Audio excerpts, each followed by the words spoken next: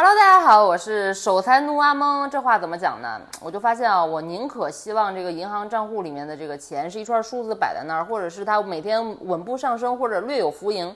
I don't know，就是我就不愿意把它变成一个实一个实物，把它摆在那边，然后就是华而不实的每天用一下，或者是来来来，就是怎么说呢？为了一时兴起啊。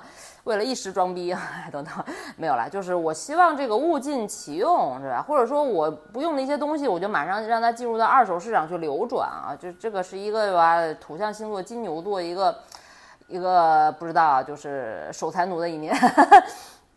这个话是从何说起呢？因为最近呢，正好搬了个家啊，扔了一些东西啊，也购置了一些东西。然后昨天呢，又看了这个 Tim Cook 这个苹果公司发布会，我我真的是好好久都没有这个熬个大夜，一点钟在这里守一台发布会，而且这个发布会的前一个小时发布的产品都是我根本就不想买的，也没有了。就那个耳耳机很好啊，然后这个 iWatch 呢就就一般般。我比较期待的就是这个 iPhone 十六啊，十六 Pro Pro Max 啊，我就因为作为一个这个视频创作者嘛，就不知道它这个是呃影像啊、呃视频呐、照片啊。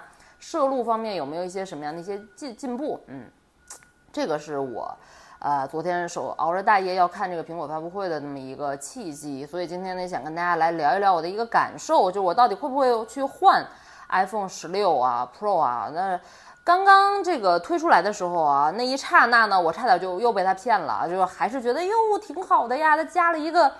就是一台手机，现在这个因为视频创作者嘛，你拿着手机的时候，你就觉得我点着这个 Home 键或者点这个的时候，就老觉得它不是一台相机。相机不是应该是这样摆在这边会有一个按键嘛？是吧？哎，它这个时候给了你一个实体的一个物理按键，让你感觉还挺好的，是吧？特别这个物理按键还集成了很多的这个功能，还能左边右边滑，然后怎么怎么样啊什么的。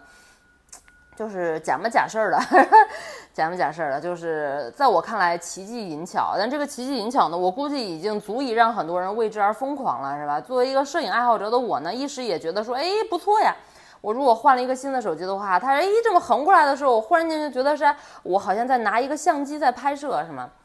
就是有一丢丢打动我，这是打动我的第一个原因啊。第一是，第二呢，就是更打动我的是它这个拍摄，因为它集集成了很多 AI 的这个功能进去。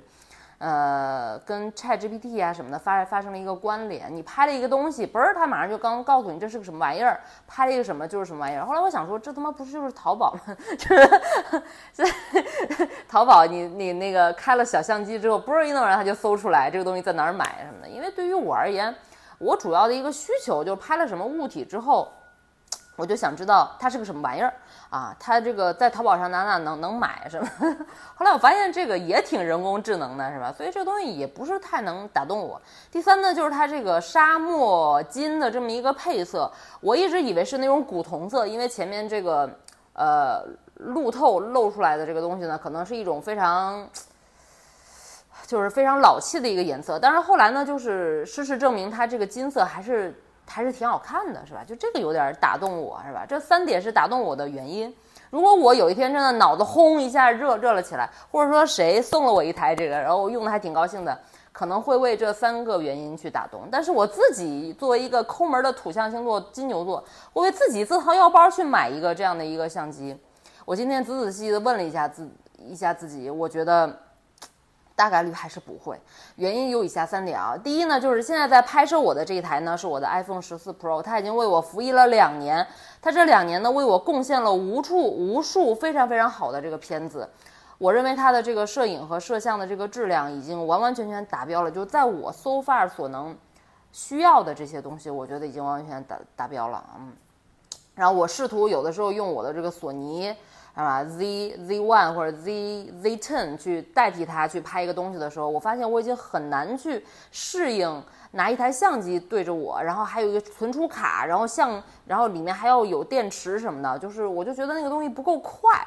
一个相机摆在这边，然后嘣儿这边插一个耳机，这边一个连一个麦，然后一个灯打过来，我马上就能开始录视频，这就是我的刚需，是吧？我觉得这个 iPhone 十四 Pro 完完全全能满足我的一个日常要需求。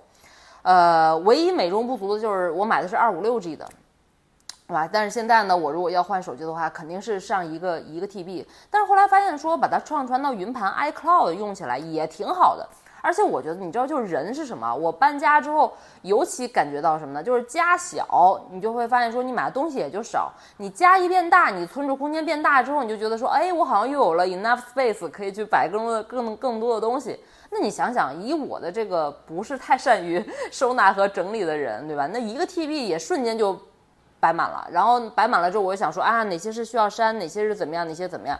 什么的，还不如它就只有二五六，然后我觉得这个内容和空间是有限的，我时不常的就可以去整理它，然后养成一个好的一个收纳的一个习惯，这是一个美美中不足。第二就是这个服役两年，这个电池可能就不太经用，是吧？一天一充或者半天一充呢，就随身带充电宝，反正倒是也能满足一个日常需求。所以说呢，就是一来二去，你就会觉得说，哦，我的这个主主主要的这个。iPhone 十四 Pro 满足我日常的需求，然后还有一台这个 SE，我因为我非常喜欢这个指纹解锁的这个 Home 按键，这个欲罢不能，知道特别是这个非常非常小的这个手感，它方便我去随时拿起来记录一些东西，或者说作为一个备用机啊。SE Three 这就是我我的两台主力机。居然就还能服役，我这我勒个去，我真的是 Tim Cook 可能要恨死我啊！就是都是都大家都像我这样，那苹果怎么办啊？是吧？哎，所以呢，这个苹果股票呢，我一忍再忍，也是没有继续去入它，也没有去买它。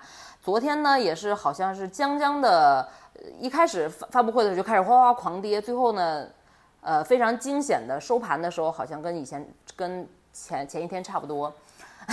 所以你看，市场对于这个的需求嘛，是吧？就是明明白白的，呃，明明白白的表现在这个上面，是吧？我觉得没有什么惊喜啊，真的，你好好想一想，没有什么惊喜啊。赖好可能换个 AirPods，对，那个降噪我觉得还是挺好的啊，性价比挺高的。我觉得也就这样吧。我觉得所谓消费降级，消费降级，我们其实所要看的，第一就是它到底有没有用。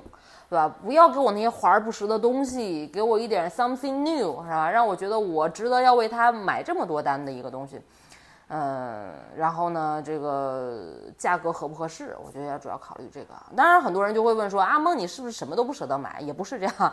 我最近呢就买了一件，买了个大件儿。我买了个 LG 的一个 OLED 的一个电视，六十五寸的，花了蒙姐三千一百新币，对，合人民币差不多一万五六的样子。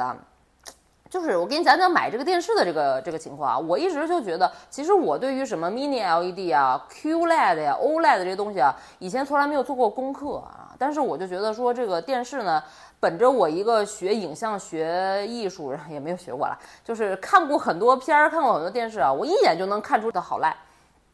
所以呢，进了那个大卖场之后啊，先看了 Samsung，又看了 Sony，然后又看了什么 QLED，看了什么一大堆之后呢，去到 LG 的这个。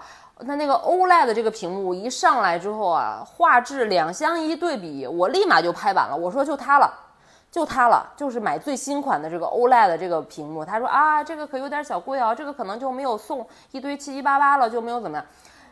你一拍大腿想想，说那些要给你附加，说我这还赠点什么东西，还怎么样的时候，那不就是促销吗？促销不就是为了把这个东西多多卖出去一点吗？是因为它。没有那么多人想买它，它才需要促销。那反而价格很坚挺的，不需要促销的东西，说明可能就很多人喜欢它，就是刚需，是吧？